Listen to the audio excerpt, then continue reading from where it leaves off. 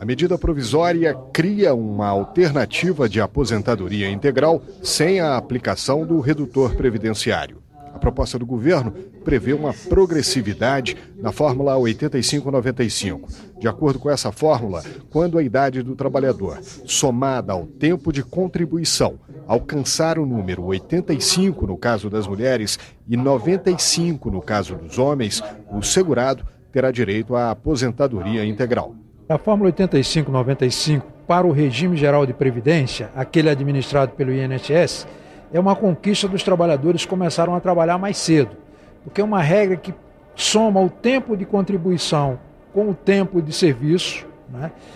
E o, o, trabalhador que trabalha mais, portanto, ele vai poder se aposentar com menos idade. Mas, pelo previsto na medida provisória, essa cota só valeria até o final de 2016. Entre 2017 e 2018, os números passariam a ser de 86 e 96 e aumentariam gradativamente até 2022, quando a fórmula passaria a ser de 90 para mulheres e de 100 para homens. Os participantes da audiência representam instituições como a OAB, juízes do trabalho, auditores da Receita Federal e sindicatos.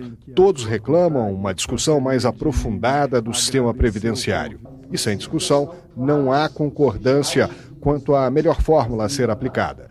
Uns acreditam que a progressividade proposta pelo governo penaliza o trabalhador. Se quiser criar uma regra nova, deve criar dali para frente, respeitando aqueles que já estão contribuindo e confiando no sistema, com uma regra de transição. Mas na hora que você traz uma progressão, que é o que querem agora estabelecer na MP 676, isso traz novamente uma insegurança, porque ela vai aumentando a idade, daqui a pouco vira 90, 100, e 90, 100 não vai precisar mais, porque vai ser mais é, vai ser mais benéfico até a aposentadoria por idade. Outros temem que a manutenção da Fórmula 8595 possa significar um peso maior para as futuras gerações. Se nós não quisermos entregar alguma coisa muito difícil de ser administrada para os nossos filhos e para os nossos netos, nós vamos ter que participar dessa conta, nós vamos ter que trabalhar mais. O senador Eduardo Amorim, presidente da comissão, acredita que as discussões nas audiências públicas